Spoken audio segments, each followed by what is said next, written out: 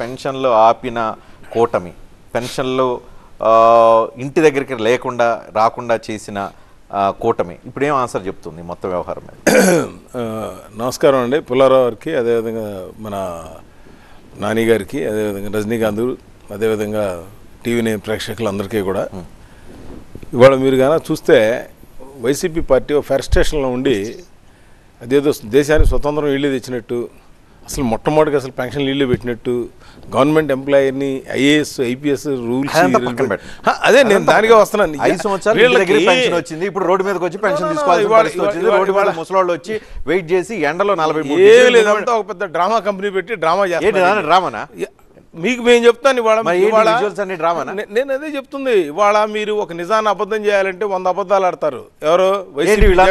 Pension తీసుకోకుండా వచ్చి అక్కడ అక్కడ పడుకొని ఉన్నారా వీళ్ళు చేసే అబద్ధాలు ఎలా ఉన్నాయంటే పెన్షన్ ఇవ్వద్దని ఎవరు చెప్పలేదు. పెన్షన్ నూట కాదు. ఇంటికి వచ్చే పెన్షన్ ఆపారా లేదా అనేది పాయింట్ నేను అదే కదా ఎలక్షన్ కమిషన్ ఏం చెప్పింది? మొత్తం ఎవరికైతే ముసలి వాళ్ళు ఉన్నారో వచ్చి తీసుకుంటే అక్కడికి వచ్చి తీసుకుంటే ఏదో గవర్నమెంట్ ఇచ్చే ఇక్కడ నేను మీకు అర్థం కాలేదండి. వాలంటీర్ల వ్యవస్థని వాళ్ళు మా కార్యకర్తలని చెప్పింది వాళ్ళు. వాళ్ళు చెప్పిన తర్వాత వాళ్ళ కార్యకర్తల ద్వారా ఇప్పిస్తారా? ఎలక్షన్ కోడ్ అబ్జెక్షన్ పెట్టదా విజయసాయి రెడ్డి గారు చెప్పారు. ఇవాళ మా కార్యకర్తలను ఉన్న వ్యక్తులతో ఎలా ఇప్పిస్తారు? నెంబర్ వన్ లేకపోతే సచివాలయం ఎంప్లాయీస్ పెడితే లక్ష ఒక అరవై వేల మంది ఉన్నారు పాయింట్ పాయింట్ కాదు నన్ను కంప్లీట్ చేయండి. అప్పుడు మీరు పాయింట్ క్వశ్చన్ చేయండి. పాయింట్ అప్పుడు- అరవై నాలుగు లక్షల మంది కాదు. ఇంతకు ముందు ఇరవై లక్షలు ముప్పై లక్షలు నలభై లక్షలు కూడా ఏ రోజు కూడా ఒకటో తారీఖు తప్పితే పెన్షన్ తీసుకోకుండా ఏ వృద్ధుడు ఏ ఆ అమ్మ అవ్వ లేకుండా లేరు. వీళ్ళు ఒక పెద్ద జనాలను సృష్టించడానికి మీడియా ద్వారా సాక్షి ద్వారా మీ ద్వారా సృష్టించడానికి ఒక డ్రామా చేస్తున్నారు తప్పితే ఇవాళ సచివాలయం గ్రామంలో ఎన్ని కిలోమీటర్లు ఉంది రెండు కిలోమీటర్లు. ఇవాళ ఈ ఐదు సంవత్సరాల ముందు ఎవరు పెన్షన్ తీసుకోలేదా? నేను అడుగుతున్నా. స్ట్రైట్ క్వశ్చన్ అదేనా మీ లైన్ ఆఫ్ థాట్ అదే మేమేమంటున్నామంటే సచివాలయం దగ్గరికి వెళ్ళి ఎండలో నిలబడి ముసలోళ్ళు వడదెబ్బ కొట్టుకుంటూ పెన్షన్ తీసుకుని అలాగే. తీసుకున్న వాళ్ళు ఇప్పుడు తీసుకోవడానికి నొప్పి ఏంటి అంటారు నేను అంతేనా అదేనా మీ లైన్ మేము ఆ మాట అంటలా. సచివాలయం దగ్గర నుంచి ఇవ్వటానికి లక్ష అరవై వేల మంది సచివాలయం ఎంప్లాయీస్ ఉన్నారు. యాభై వేల మంది ఎండిఓ ఎంఆర్ఓ ఆఫీస్ ఎంప్లాయీస్ ఉన్నారు. యాభై వేల మంది మిగతా అగ్రికల్చర్ డిపార్ట్మెంట్ ఎంప్లాయీస్ ఉన్నారు. రెండు లక్షల అరవై మంది ఒక్క రోజులు ఇంటికి తీసుకెళ్ళి ఇచ్చి ఇవ్వగలరు.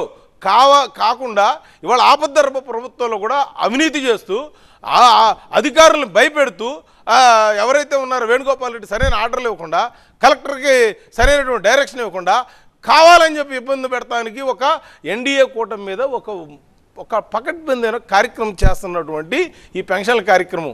మీరు గుర్తుపెట్టుకోండి రేపు ఒకటో తారీఖుకి కుట్ర చేసేవాళ్ళు ఎందుకు? ఏది? వాళ్ళంత కుట్ర చేస్తున్నారని కుట్ర చేస్తారని వాళ్ళ మీద మీకు నమ్మకం ఉంటే ఆపించడం ఎందుకు? ఆపించలా మేము చెప్తున్నాం. ఈ రకమైన వెళ్ళే ఎందుకు? తేడా ఒకటి వైసీపీ కార్యకర్తల ద్వారా ఇవ్వద్దు. గవర్నమెంట్ ఎంప్లాయీస్ ద్వారా ఇవ్వమని చెప్తున్నాం. మీరు ఇది తేడా అర్థం చేసుకోవాలి. మేం చెప్పలా వాలంటీర్స్ మా ఎంప్లాయీస్ గవర్నమెంట్ ఎంప్లాయీస్ చాకదనలని చెప్పింది ఎవరు? విజయసాయి రెడ్డి గారు సజ్జల గారు అందరూ చెప్పారు. ఏమని? వీళ్ళు మా ఎంప్లాయీస్ వీళ్ళు మా కార్యకర్తలని చెప్పింది వాళ్ళు. కాలెడ్ విజువల్స్ తీయమంటే తీస్తాను నేను ఇప్పుడు. సరే ఈ లోపల. ఒకసారి పేరు నాన్న దగ్గరికి వెళ్దాం.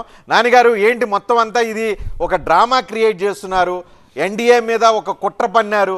కుట్ర పని వాళ్ళ మీద అబాండాలు వేస్తున్నారు. చివరికి శాడిస్ట్ అంటున్నారు.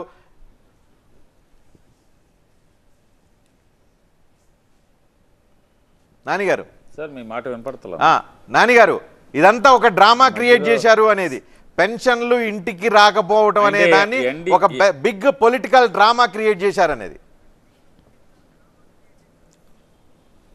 ఈ ప్రపంచంలో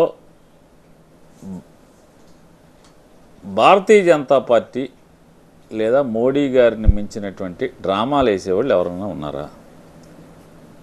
అసలు రాముడిని వీళ్ళే రాముడు జన్మించటాకి లేకపోతే రాముడు ఉద్భవించటానికి ఆయన అవతారం తాల్చటాకి భారతీయ జనతా పార్టీ మాత్రమే కారణమైనట్టు.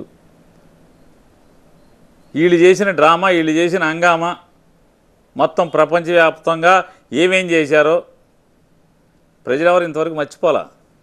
అలాగే సర్దార్ పటేల్ గారు అసలు సర్దార్ పటేల్ గారిని భారతీయ జనతా పార్టీనే తీర్చిదిద్దినట్టు. భారతీయ జనతా పార్టీ మాత్రమే సర్దార్ పటేల్ గారిని బా ఈ స్వాతంత్రం అంటే భారతదేశంలో బ్రిటిష్ మీద పోరాటానికి కానీ లేకపోతే ఆయన హోమ్ మినిస్టర్గా వీళ్ళే అవకాశం ఇచ్చి మొత్తం కాశ్మీర్ కానీ లేకపోతే నిజాం కానీ నిజాం రూల్ని కానీ ఇవన్నీ కూడా పటేల్ గారితో వీళ్ళే చేయించినట్టు.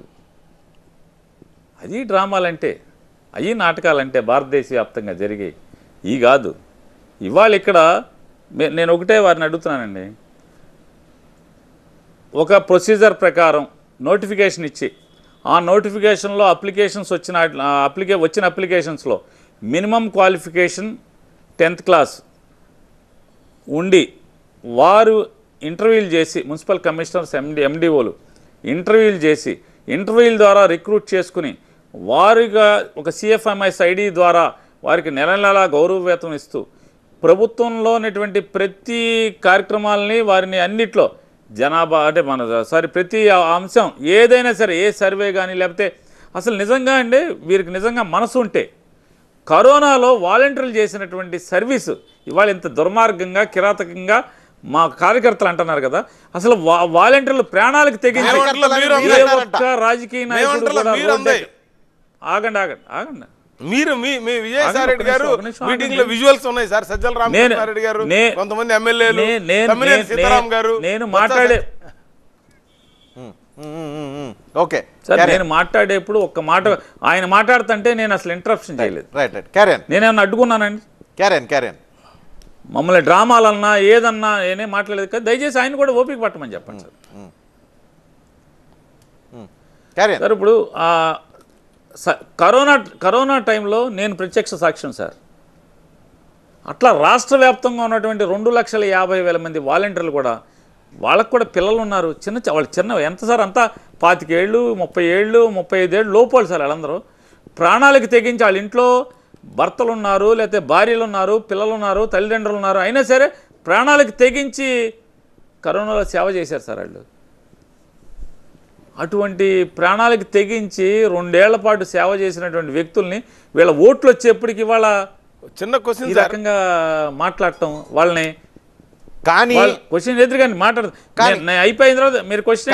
గారు అటువంటి వ్యక్తులు అంటే మాత్రమే ఈ ఉండే రకంగా మాట్లాడచ్చు గ్రామ సచివాలయానికో ఆఫీస్కో వెళ్ళి పెన్షన్ తీసుకోలేనంత స్థితిలో ఉన్నారా పెన్షనర్లు? నేను ఒకటే మాట్లాడుతున్నానండి. నేను ఒకటే నేను ఒకటే వారికి చెప్తున్నా. ఎన్డీఏ కూటమిని చంద్రబాబు నాయుడు పవన్ కళ్యాణ్ భారతీయ జనతా పార్టీ మేమొస్తే ఇంటికి పెన్షన్ ఇవ్వము. సచివాలయానికి మీకు ఏమైనా తీపడమా? రెండు కిలోమీటర్ల లోపున్న సచివాలయానికి వచ్చి తీసుకెళ్ళండి. వాలంటీర్ల వ్యవస్థను రద్దు చేస్తామని చెప్పి ఒక మాట చెప్పమానండి. చెప్పమండి ఏం చెప్తున్నారు వీళ్ళు? నిన్నటి దాకానేమో వాలంటీర్లు అనే వాలంటీర్లు అందరూ కూడా అమ్మాయిల్ని రెడ్ లైట్ ఏరియాకి అమ్మేస్తున్నారు. మధ్యాహ్నం పూట మగవాళ్ళు లేని సమయంలో ఇంట్లో దూరి లోపరుచుకుంటున్నారు దొంగతనాలు చేస్తున్నారు హత్యలు చేస్తున్నారు వాలంటీర్ల వ్యవస్థ తీసేస్తామని చెప్పి మాట్లాడి ఇప్పుడేం చెప్తున్నారు? లోకేష్తో సహా. లోకేష్ చంద్రబాబు నాయుడు పవన్ కళ్యాణ్ మేము వాలంటీర్ వ్యవస్థను కొనసాగిస్తాం. వాలంటీర్ వ్యవస్థ చాలా మంచిది పెన్షన్ పెన్షన్ గురించి పెన్షన్. ఇవ్- ఈ రోజు పెన్షన్ పెన్షన్ కూడా. ఈ రోజు పెన్షన్ తీసుకోవడానికి వృద్ధులు ఇదంతా వీడియోలు తీసి ప్రోపగాండా చేసి మీరు రాజకీయ లబ్ధి కోసం ప్రయత్నం చేస్తున్నారు అంటున్నారు పాతు నాగభూషణం సార్ నేను ఒక మాట. ఏబిఎన్ ఆంధ్రజ్యోతిలో లేదా టీవీ ఫైవ్లో లేదా మహా న్యూస్లో లేదా సింగిల్ నైన్లో లేదా డబల్ నైన్లో ఈటీవీలో వీటన్నిటిలో విజువల్స్ కూడా మేమే పంపించామా? ఆ విజువల్స్ అన్ని మేము ఇచ్చామా వాళ్ళే తీసుకున్నారుగా? ఇప్పుడు జరుగుతున్నటువంటి పెన్షనర్లు అందరూ కూడా సచివాలయాలకు వస్తున్నది. ఎవరు తీశారు వీడియోలు? మేము తీసామా మరి ఆ టీవీలకు ఇచ్చినవి కూడా మా వీడియోలు వాడుకుంటున్నారా? వాళ్ళ టీవీలో కూడా వేస్తున్నారు కదా? కాబట్టి ఇది ఇది సార్ ఒక మాట వాళ్ళు ఏమనుకున్నారు అంటే ఇది బూమరాంగ్ అవుతుందని వాళ్ళు ఎక్స్పెక్ట్ చేయాల. వాలంటీర్లని కట్ చేస్తే చాలు జగన్మోహన్ రెడ్డి గారు బలం అక్కడితో బలహీన పడిపోతాడు జగన్మోహన్ రెడ్డి అనుకున్నారు తప్పితే. వాస్తవంగా బలం జగన్మోహన్ రెడ్డి అని వాళ్ళు గమనించాల. వాలంటీర్ల వ్యవస్థ కాదు బలం జగన్మోహన్ రెడ్డి. అంటే పరిపాలన మీద బలం పరిపాలన చూసి ఓటేస్తారు తప్పితే వాలంటీర్లు ఉద్యోగస్తులను చూసి కాదు కదా సార్ ఓటేసేది. ఇప్పుడు సచివాలయం సచివాలయం వ్యవస్థ ద్వారా ఇంటికి వెళ్ళమని చెప్తున్నారు.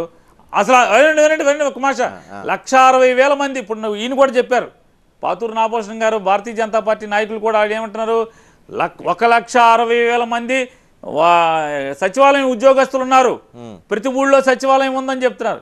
ఈ సచివాలయ వ్యవస్థ ఏర్పా ఎవరు ఏర్పాటు చేశారు? వీళ్ళు ఎన్డీఏ గవర్నమెంట్లో ఉందా? రెండు వేల పద్నాలుగులో పంతొమ్మిది పద్దెనిమిది రెండు వేల పద్నాలుగు నుంచి పద్దెనిమిది దాకా ఉన్న ఎన్డీఏ వ్యవ ఎన్డీఏ పరిపాలనలో ఈ వ్యవస్థ వచ్చిందా? లేదా ఒక లక్ష అరవై వేల మంది సచివాలయ ఉద్యోగస్తులు వీళ్ళు ఉన్నారని చెప్తారు వాళ్ళు ఎవరు నిన్నటిదాకా ఏం చెప్పారు? జగన్మోహన్ రెడ్డి ప్రభుత్వం ఒక్క ఉద్యోగాన్ని రిక్రూట్ చేయలేదు. నిరుద్యోగులకి ఒక్క జాబ్ క్యాలెండర్ ఇవ్వలేదు ఒక్క ఉద్యోగస్తుడిని రిక్రూట్ చేయలేదు అని మాట్లాడారు. వాళ్ళు నోడితే వాళ్ళని వాళ్ళ భగవంతుడు చెప్పిస్తున్నాడు. ఒక లక్ష అరవై వేల నాని గారు నేను మీరు. మీరు చేసిన మోసాన్ని ఇవాళ మొత్తం కాదు? మీరే- ఉద్యోగులు- లక్ష అరవై వేల మంది ఉన్నారు మీరే అన్నారు కదా. మరి- అదేమన్నా సీక్రెట్ ఏంటి అదేమన్నా? సో మీరు జాబులు రాలేదంటున్నారు అదే చెప్తుంది. చెప్తున్నారు కదా అని అంటున్నాడు. పది లక్షల రావాల్సినటువంటి జాబ్ జాబులు. అది ముప్పై వేలు రెండు సంవత్సరాలు ప్రొఫెషనల్ పీరియడ్ అని పెట్టి వాళ్ళని ఇప్పటికీ వాళ్ళకి సరైనటువంటి పరిస్థితులు లేక అక్కడ ఆఫీస్ ఎస్టాబ్లిష్మెంట్ లేకుండా పెట్టినాడు. నేను ముందు నన్ను కంప్లీట్ చేయండి సార్. మీరు ఒకటి గుర్తుపెట్టుకోండి. మీరు వాలంటీర్లకి పదివేలు చేస్తా ఉన్నారా లేదా? వాళ్ళ